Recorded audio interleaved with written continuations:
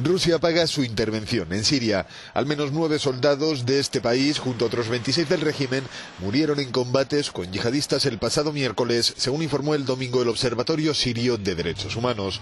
Los enfrentamientos tuvieron lugar en la provincia de Deir al-Zur, al este del país. Según la misma fuente, las Fuerzas Armadas se vieron atacadas en una zona desértica de la última región controlada por los radicales y en donde también están intentando derrotarlos la coalición internacional y las fuerzas democráticas sirias con gran presencia kurda.